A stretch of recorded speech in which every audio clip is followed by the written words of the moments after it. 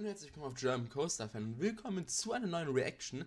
Wir reagieren heute einmal auf das Video Top 100 Rollercoasters in the World Summer 2019 von Coaster Cloud. Und ähm, ja, die letzte Reaction ist schon mal etwas länger her und daher dachte ich mir, warum mache ich nicht nochmal eine neue und deswegen reagieren wir heute mal auf dieses Video hier. Und ähm, ich würde sagen, wir beginnen auch direkt mal. Ich kann die Cam gerne ein bisschen kleiner machen. Oder auch nicht. Sekunde. So, seht ihr mehr vom Bildschirm. Und ich bin echt gespannt, wie das Ranking aussehen wird und ob ich mich aufregen werde. Ich bin wie immer ungespoilert. Mal schauen, wie das Ganze werden wird. Okay. Die meisten Rankings, die man so gesehen hat, waren ja eher immer kontrovers. Ich weise da mal auf die letzten paar Re Reaktionen hin, wo ich auf solche Videos reagiert habe.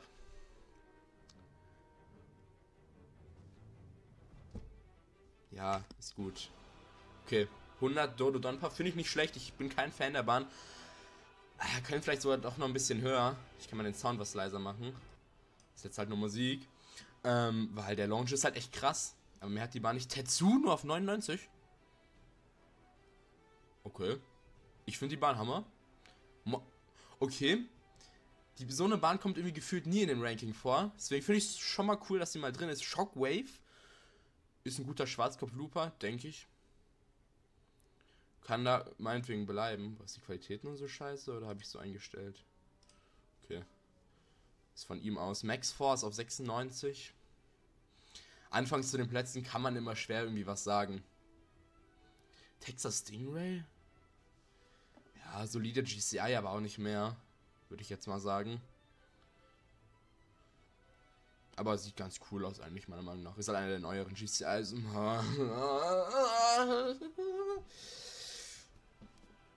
Warum nur so tief?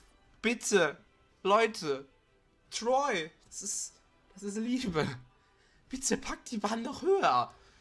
Ah, Behemoth, ja, kann gerne da bleiben. Ist ein guter Hyper, aber auch nicht mehr Accelerator. Äh, ja. Aber tu doch bitte Troy höher. Okay, OCT Frost kommt eigentlich auch nie vor. Kann da meinetwegen auch bleiben. Time Travel ist echt richtig underrated. Finde ich cool, dass sie auch mal vorkommt, weil die Band wird eigentlich quasi nie gesprochen. Superman in ähm, äh, Warner Bros. Oh, ich war gerade ziemlich lost. okay, Go Live. Eine Bahn, die ich gefahren bin, immerhin mal. äh, oh, Sorin with Dragon ist auch schon geil. Wie kommt es mir vor, als wären die Bahnen alle ziemlich weit unten? Ich bin echt gespannt, was weiter oben kommt. Steel Curtain finde ich gar nicht geil, die Bahn. Hat viele Inversionen, aber ich weiß jetzt nicht, wie forceful die Bahn ist, keine Ahnung. Ich finde es, bei der Bahn ist, die Bahn ist echt schwer einzuschätzen, finde ich. Takabisha auf Platz 85 ist es jetzt. Es wird heute ein etwas längeres Video. okay, Olympia Looping, boah. Ist halt ultra intensiv. Auch wieder eine Bahn, die ich gefahren bin. Aber ich mag die Bahn nicht so sehr. Thunderhead über Troy. Muss man nicht verstehen. Thunderhead ist cool. Aber besser als Troy. Mach Diamondback. Ah. Ach, ich weiß nicht, was ich bisher davon halten soll, von dem Ranking. Afterburn nur auf 81, was? Die Bahn ist doch viel höher. Also ich persönlich feier Afterburn mega. Seine besten Inverter. Superman, El Ultimo Escape. Auf 80, okay. Ja, Nefes Kesen würde ich auf jeden Fall höher tun. Die Bahn ist echt geil. Aber 79 ist viel zu weit unten, meiner Meinung nach. Formula Rossa ist die schnellste Bahn der Welt, aber trotzdem immer noch overrated. Aber kann trotzdem schon noch ein bisschen höher. Mindbender ist fast schon okay dort angeordnet. Ist guter Schwarzkopf. Cannibal. Ja. ist ja quasi ein Gerstlauer Infinity. Nur halt in-house gemacht. Lightning Run auf jeden Fall höher. Die Bahn ist mega geil. Ich feiere das Ding mega. Die ganzen Airtime-Hügel. Mega mega cool irgendwie. Chimera, ja, eine Bahn, die es gar nicht mehr gibt eigentlich. Äh, ja, kann er gerne auch bleiben. Joker. Schwierig. Einer der schlechteren AMCs, aber trotzdem halt immer noch eine geile Bahn. So, das ist, wenn AMC scheiße ist, ist es immer noch gut. Nemesis auf jeden Fall auch höher, du bist echt ein guter Inverter. Der beste in Europa auf jeden Fall. Aber ja, ich bin allgemein jetzt nicht so ein großer Nemesis-Fan wie viele andere. Aber trotzdem kann die Bahn auf jeden Fall höher. Go Live in Great America. Ja. Wie gesagt, bei jeder Bahn, die soll höher. Time Traveler, ja, ist ein Mack Launch mit Spinning Coaster Zügen. Meiko auf jeden Fall höher. Ist ein mega cooler Hyper. Oh, gerade ist ein bisschen Euromir Soundtrack-like. Candymonium. Würde ich sagen, drittbester B&M Hyper. Äh, Hades 360 auf jeden Fall höher. Das ist eine mega geile Bahn. Allein der Part hier, den man gerade sieht, unter der Straße durch. Oder unterm Parkplatz. Boah, Hammer. Mega geile Bahn. Bester Gravity Group oder einer der besten. Flying Aces auf jeden Fall höher. Würde ich sagen. Ähm, ja, ist halt ein Intermin Wing Coaster und echt cool. Und auch besser als Skyrush. Nicht wie viele andere sagen. Balder ist relativ gut angeordnet. Wenn nicht, vielleicht so ein Tick höher noch. So vielleicht in den Top 50 knapp oder. Ja, aber ist, ist, eine, ist eine geile Holzachterbahn. Würde ich schon sagen. Kolossos nur auf 64? Ist mutig. Also ich bin die Bahn nicht selber gefahren, leider noch nicht. Aber ja, ist halt so eine Bahn, wo echt es gemischte Reviews gibt.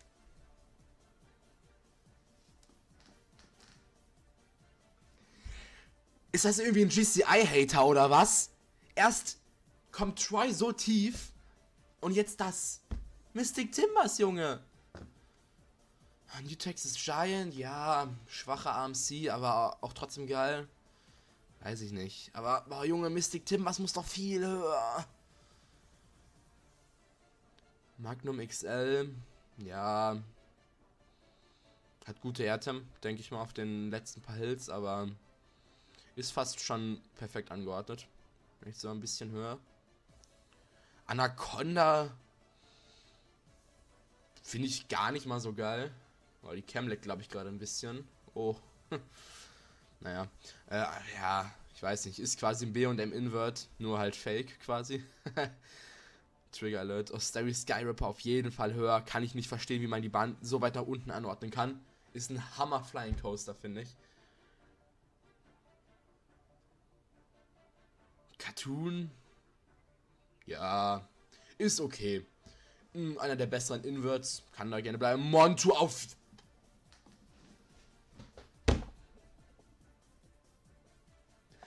Das ist der beste Invert. Warum so weit unten? Gold Striker. Muss auf jeden Fall höher. Mann, Junge, GCI-Bahnen sind doch super. Und was kommt jetzt? Oh, der nächste GCI.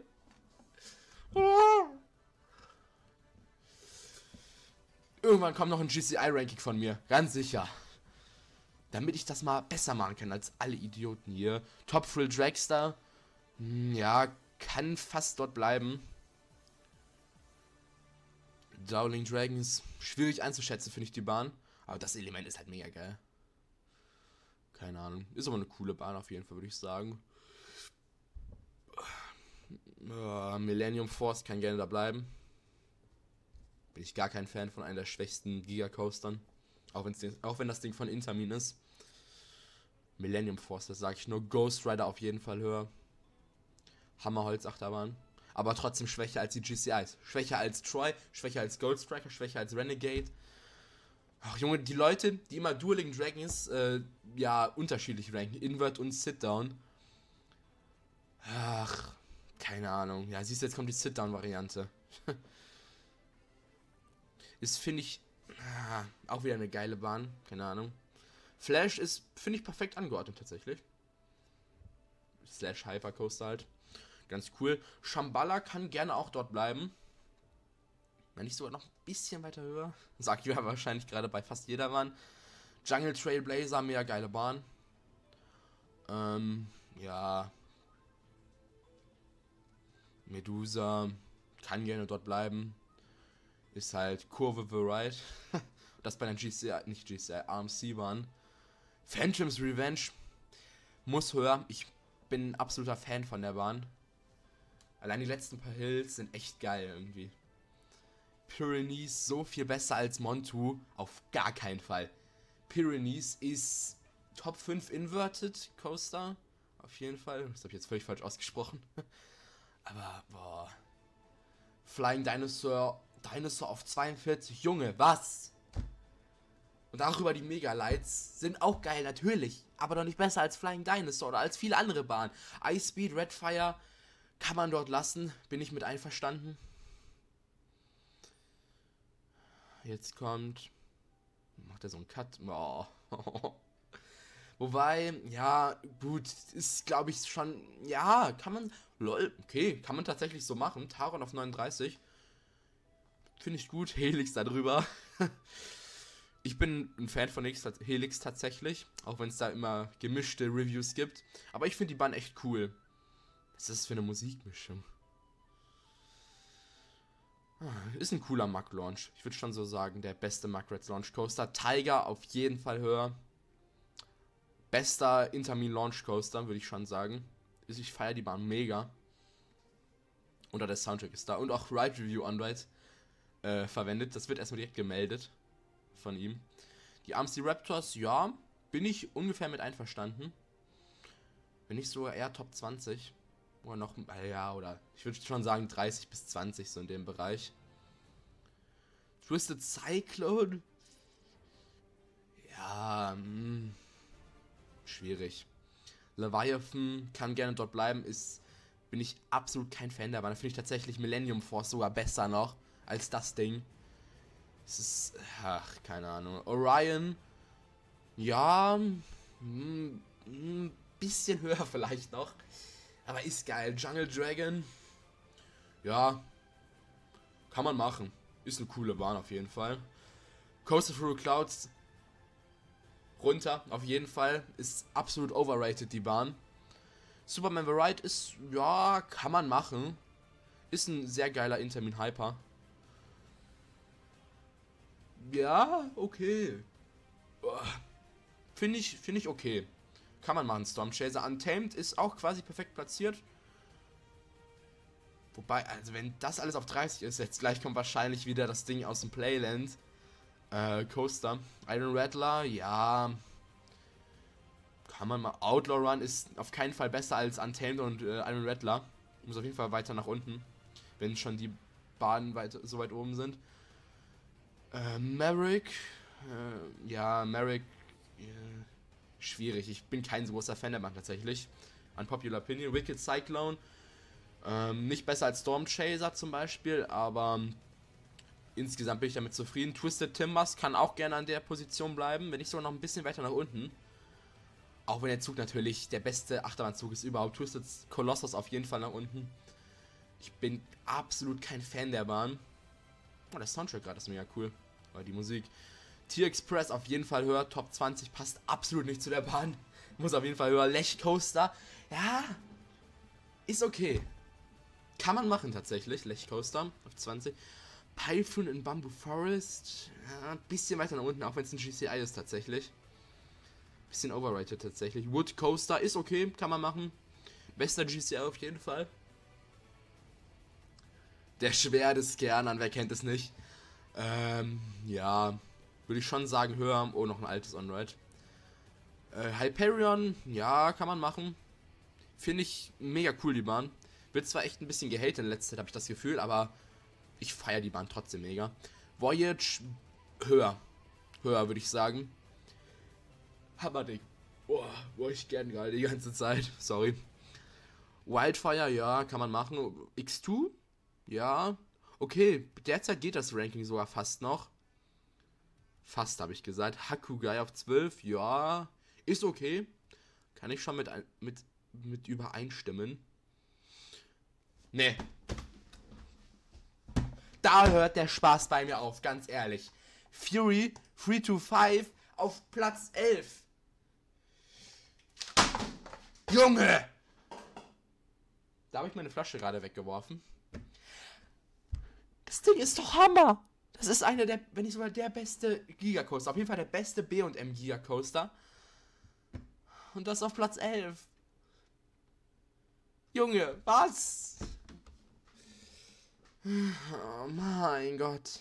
Ich dachte, das Ranking wäre gut. Kommt Fury. Pass auf, jetzt gleich kommt Steel Vengeance. Bitte nicht. Ich habe Angst. Jetzt kommt Top 10. Top 10. Ah, Hilfe. Ist irgendwie der Ton aus?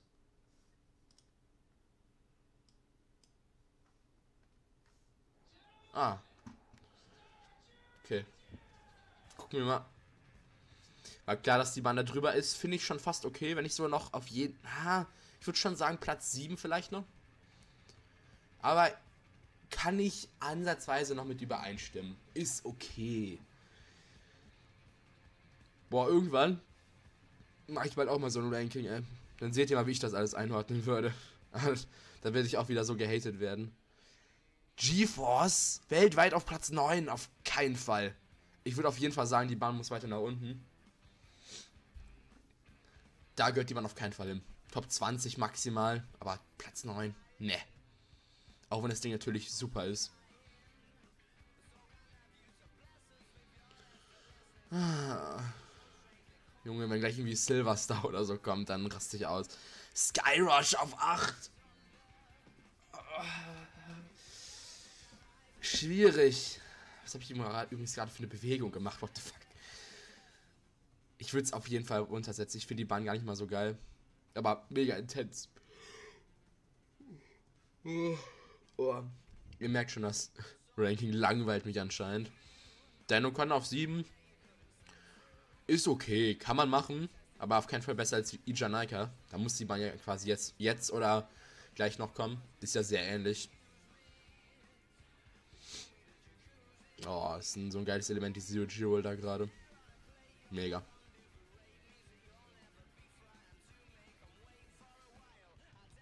Ah, oh, ist auch so gut, ey. Ja, komm, mach weiter. Blende halt das On-Ride noch länger an.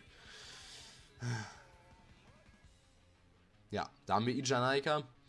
Hammerbahn muss auf jeden Fall, ja, Top 5, ja, ja, Top 5 würde ich schon sagen, aber Platz 6 vielleicht noch ein bisschen zu weit, zu weit unten. Ich würde schon sagen 4, 3 bis 5, so 3, 4, 5 kann ich mit übereinstimmen.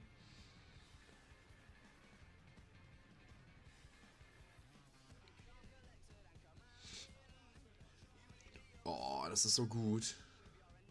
Ich liebe diese Bahn wirklich. Vielleicht kann ich die irgendwann mal fahren, ey. Das wäre echt super. Sajo auf 5.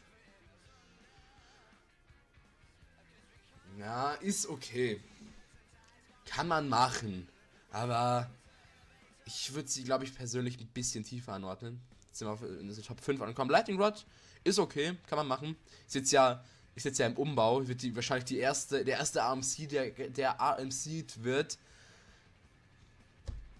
Muss man selber denken, was man davon hält. Ich hoffe, das war ein korrekter Satzbau. Aber Lightning Rod ist echt ein Hammer-Ding. Ich feiere die Bahn mega. Und allgemein Dollywood.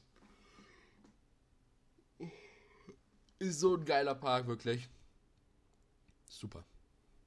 Boah, aber jetzt hat er natürlich den Quadruple Down nicht eingeblendet. Ich glaube, jetzt kommen die Top 3, oder? Wenn ich jetzt aufgepasst habe. Ich glaube, ich muss mal meinen Kalender wieder aufstellen. Hier, der ist eben umgefallen, als ich die Flasche geworfen habe.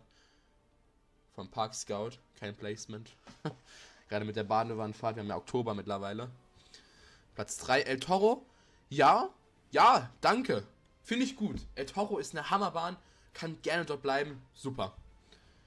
Boah, diese Erdtermhügel. Boah. Mega, mega. Warte mal, jetzt fehlt noch Steel Vengeance, fehlt noch. Und, ähm, welche Bahn hatten wir denn noch nicht? Ich überlege gerade. DC Rivals hatten wir noch nicht, ne? Die kam noch nicht vor. Meine Prediction jetzt, DC Rivals oder nach Steel Vengeance. Aber DC Rivals vor El Terror auf gar keinen Fall. Bester, beste Muckrats Achterbahn ist DC, wäre DC Rivals auf jeden Fall, aber Und jetzt kommen würde. sehen wir jetzt. Und es ist. Es ist nicht so der Soundtrack? Nee, nee, ist es nicht. Ich dachte kurz. Kurz Black Screen Session. Platz 2 also. Hey, ist das nicht. Nee, oder? Das ist doch nicht der Soundtrack von DC Rap. Doch, es ist der Soundtrack von DC Rivals und es ist DC Rivals Hypercoaster, die auf Platz 2 ist. Aber der Soundtrack ist geil. Die Bahn selbst, ja, finde ich auch cool. Aber Platz 2 weltweit auf gar keinen Fall. Ich würde schon sagen, Platz 6, 5, 6, 7 so in dem Bereich. Jetzt muss ja auf Platz 1 Steel Vengeance kommen, oder? Ja, die Bahn ist ein bisschen lang, deswegen skippen wir das mal. Könnte ich ja auch mal selbst noch ein On-Ride angucken, falls ihr es gerne nochmal sehen wollt. Aber hier die Atom-Hügel am Ende sind schon bestimmt ganz cool, würde ich sagen. So, jetzt sehen wir Platz 1. Also muss ja Steel Vengeance sein eigentlich.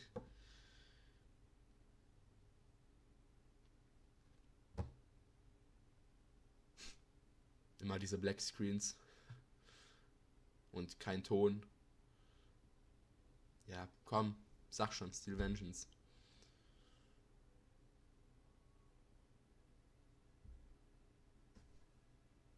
Blend halt noch länger ein.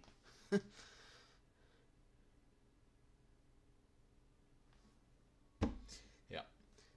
Wie wir es predicted hatten. Es ist Steel Vengeance. Ja. Man sieht's. Ähm, das Ding ist Cedar Point auf jeden Fall. Der AMC. Für mich immer noch Platz 1. Viele ordnen das Ding in letzter Zeit auch wieder tiefer ein. Ähm, und ja, muss man nicht zu sagen, Steel Dimensions Platz 1, stimme ich voll mit ein. Allgemein fand ich das Ranking tatsächlich gar nicht mal so schlecht, äh, wie die letzten Rankings, die wir angeschaut hatten. Aber ja, Fury 3 to 5 auf 11 muss man nicht zu sagen. Hat mich auch eben zu, zum Ragen gebracht. Ähm, ja, aber Steel Vengeance passt ganz gut dahin.